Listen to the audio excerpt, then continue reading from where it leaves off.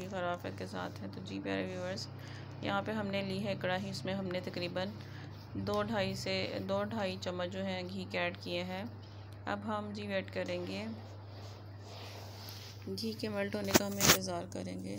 तो जी प्यारे व्यूवर्स आज बहुत ही मज़े की रेसिपी बनने जा रही है, दाल माश की मज़ेदार सी रेसिपी तो जी प्यारे व्यूवर्स जो लोग हमारे चैनल पर नए हैं तो वो लोग हमारे चैनल कुक विथ टेस्ट को सब्सक्राइब करें लाइक करें शेयर करें और बेल आइकन पे ज़रूर क्लिक करें ताकि नई में तमाम वीडियोस पर वक्त आप लोगों तक आसानी से पहुँच सकें और आप लोग इंजॉय कर सकें। तो जी व्यूवर्स यहाँ पे हमने कढ़ाई में जो है घी गरम कर लिया है। उसके साथ हमने तकरीबन दो मीडियम साइज़ के प्याज लिए थे जिसको हमने काट के बारीक जो है मिक्सचर में डालकर उसको हमने पीस के उसका पेस्ट बना लिया है ताकि हम उसे जो है, उसकी ग्रेवी बनाने में आसानी हो। क्योंकि आजकल जो प्याज आ रहा है वो ज़्यादा अच्छे तरीके से जो है गलता नहीं है, सॉफ्ट नहीं होता।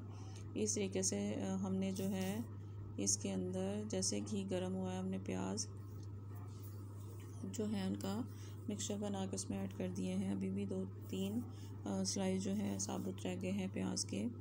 अभी प्यारे व्यूवर्स, इसको हम अच्छे से जी करेंगे गोल्डन। जैसे ही प्याज गोल्डन होगा तब तक जो है, हम दूसरी चीज़ें रेडी करके रख लेते हैं। हमने यहाँ पे लिया है तकरीबन एक पाव के करीब दाल माश ली है हमने जिसको हमने साफ़ करके चुन के भिगो के रख लिया था। और यहाँ पर हम दाल जो है, ढाबा स्टाइल जो है हमने दाल की रेसिपी रेडी करनी है प्यारे व्यूवर जो टमाटर है उनका भी पेस्ट बना लेंगे और साथ ही साथ जो है प्याज उनका भी हमने पेस्ट बनाकर इसको, घी में आपने गोल्डन कर लेना है और जिंजर गार्लिक पेस्ट जो है उसका भी हमने पेस्ट बना लेना है। इस तरीके से सब चीज़ें पेस्ट की सूरत में ही हम यूज़ करने वाले हैं। जब सब्ज़ी वगैरह बनती है उसमें जो है प्याज कड़ा मसाला के तौर पर भी हम लोग यूज़ कर सकते हैं। बट जो चीज़ शोरबे की सूरत में या दाल की सूरत में लेकर हम आते हैं, उसमें हम कोशिश करते हैं कि मसाला जो है हमारा ग्रैंड हुआ हुआ हो। क्योंकि खड़ा मसाला जो है हमेशा सब्ज़ी में अच्छा लगता है। दाल के अंदर नहीं करेले जो है उनके अंदर भिंडी है, उनके अंदर खड़ा मसाला उसके अंदर उन सब्जियों में ज़्यादा अच्छा लगता है। तो जी व्यूवर्स यहाँ पर हम करेंगे अच्छे से इसको गोल्डन तो जो लोग डेली रूटीन में हमारी वीडियो देखते हैं, उनके लिए जी बहुत बहुत शुक्रिया। थैंक यू सो मच कि वो हमारी वीडियो जो है वॉच करते हैं। तो जी व्यूवर्स बहुत ही मज़े की वीडियोस जो है बन के रेडी होने वाली है। दाल माश की मज़ेदार सी रेसिपी ढाबा स्टाइल रेसिपी है। प्लीज़ आप लोग जो डेली रूटीन में हमारी वीडियोस देखते हैं प्यारे वो लोग दरमियान में वीडियो को स्किप मत किया करें, एंड तक शुरू वॉच किया करें। इसी तरीके से हम आप लोगों के लिए मज़े मज़े की रेसिपीज़ मज़े मज़े के जायके पकवान, खाने लेकर आते रहेंगे। तो जी व्यूवर्स यहाँ पर हमारा प्याज चूँकि तो हल्का सा गोल्डन हुआ था, उसमें हमने वन टीस्पून के करीब जिंजर गार्लिक पेस्ट जो है उसको ऐड कर दिया है। अब हम इसके अंदर ऐड करेंगे थोड़ा सा जो है चम्मच की वजह से अभी इसको थोड़ा सा हिलाएँगे। और को ताकि नीचे जो है लगे नहीं। और इसके बाद हम साथ ही साथ इसके अंदर ऐड कर देंगे जी। टमाटरों का पेस्ट जो कि हमने तकरीबन लिया हुआ है। पाँच से चार टमाटरों का पेस्ट तैयार किया है। यहाँ पर हमने हाफ़ टी स्पून के करीब जो है हल्दी पाउडर ऐड किया है और हाफ़ टी स्पून के करीब ही हमने इसके अंदर ऐड कर दिया, टू टी स्पून के करीब हमने इसमें ऐड कर दिया है जी सुरख मिर्च पाउडर। साथ ही साथ हमने हाफ़ टी स्पून के करीब नमक ऐड किया है और उसके साथ ही साथ हमने एक कटोरी जो है टमाटर का पेस्ट जो है वो ऐड कर दिया है।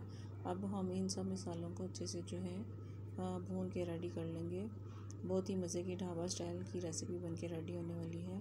देखिए इस तरीके से आपने मुसलसल चम्मच चम्मच जो है वो चलाते जाना है क्योंकि जो पेस्ट है वो नीचे ना लग पाए। इस तरीके से देखिए मसाला बगैर पहले जो है मसाला सम आ, कुछ रेसिपीज़ ऐसी होती हैं जिसमें मसाला जो है मैं पहले पकाती हूँ उसके बाद उसको ग्राइंड करके घी में फ्राई करती हूँ। बट ये जो है ये टमाटरों का पेस्ट भी मैंने पहले ही बना लिया था और जो प्याज है उनका पेस्ट जो है वो भी मैंने पहले ही बना के रख लिया था। ताकि बाद में जो है इसको पीसने में आ, मुश्किल ना आए। तो जी वेरीवर्स यहाँ पे इस तरीके से आप लोग देख सकते हैं जिस तरीके से मसाले को हमने अच्छे से भून लेना है ताकि इसका जो ऑयल है वो ऊपर अच्छे से आ जाए और जैसे ही इसका ऑयल जो है ऊपर आएगा मसाला मसाला खुद ब खुद ही अपनी खुशबू छोड़ देगा। जैसे ही नीचे पैंदे में जो है आ, मसाला लगने की आ, आपको खुशबू आए आप समझ जाएँ कि मसाला जो है हमारा अच्छे से भून के रेडी हो चुका है। तो जी व्यूअर्स बहुत ही मज़े की रेसिपी ढाबा स्टाइल रेसिपी हम आप लोगों के लिए आज लेकर आए हैं जी दरमियान में। जो है कुछ प्रॉब्लम थी जिसकी वजह से हमारी वीडियो जो है थोड़ी लेट आई बट हमने आपके साथ शेयर ज़रूर की। चाहे शॉर्ट टाइम के लिए ही की। इस तरीके से हमने मसाले को अच्छे से भून लेना है। भूनने के बाद हमने इसमें दाल ऐड कर दी है, आप लोग देख सकते हैं इसको। और अब हम इसमें थोड़ा सा पानी ऐड करेंगे, बिल्कुल ही लाइट फ्लेम पर इसको पकने के लिए रख देंगे, बिल्कुल ही लाइट फ्लेम पर। जैसे ही लाइट फ्लेम पर दाल माश बन के रेडी होगी तो हम आप, उसके साथ आपकी रेसिपी जो है, ज़रूर शेयर करेंगे। इस तरीके से हमने थोड़ा सा पानी ले लेना है इसमें। मुसलसल चम्मच चलाते जाना है और इतना पानी हम इसमें ऐड करेंगे ताकि जो है हमारी दाल गल भी जाए और पक भी जाए। तो जी व्यूवर्स आप लोग इस तरीके से इसमें पानी ऐड कर देना है। फाइनली लाइट फ्लेम पर रख देंगे पकने के लिए। देन देखेंगे। तो जी व्यूवर्स माशाल्लाह से मेरी ढाबा स्टाइल की मज़ेदार सी दाल माश की रेसिपी बन के रेडी हो चुकी है। फाइनली तौर पर आप लोग देख सकते हैं।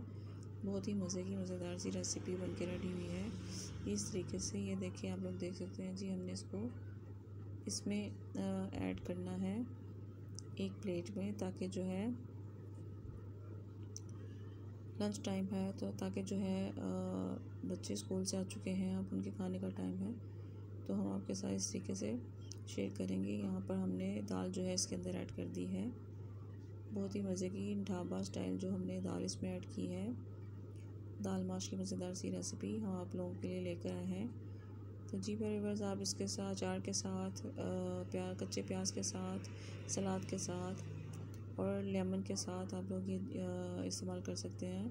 और खमीरी रोटी के साथ या चपाती जैसा आपको फुल्का खाने में इजी लगे। मिलते हैं कल के ब्लॉग में।